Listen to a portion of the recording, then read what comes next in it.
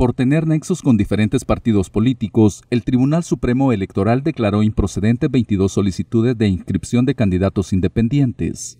Según el TSE, en las declaraciones improcedentes se expone que está prohibido la postulación como candidatos no partidarios a personas que estén o hayan estado afiliadas a partidos políticos durante los tres años previos a la elección.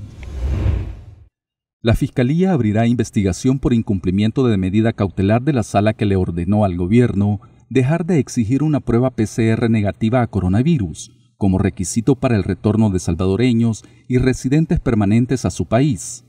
El gobierno incumplió la resolución de la sala y por tanto la Fiscalía abrirá una investigación para establecer el cometimiento de delitos y deducir responsabilidades de los funcionarios de este gobierno que puedan estar involucrados ante la presunta desobediencia al no acatar la medida cautelar impuesta.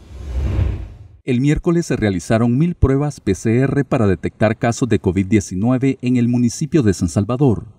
Para ello se ubicaron cabinas en cuatro puntos, uno en la Plaza Salvador del Mundo, otro en la Plaza Gerardo Barrios, también en el Reloj de Flores y en la ex Casa Presidencial de San Jacinto.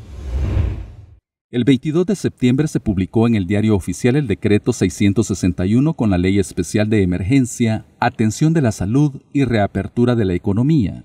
Su publicación se dio luego de 34 días de que la Sala de lo Constitucional le ordenara al presidente Nayib Bukele firmarlo, al declarar que los artículos en los que se regula la reapertura económica no son inconstitucionales.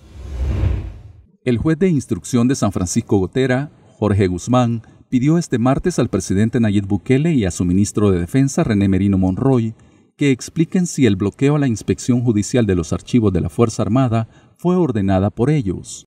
El ministro de la Defensa señaló que lo que el ejército hace es respetar la Constitución.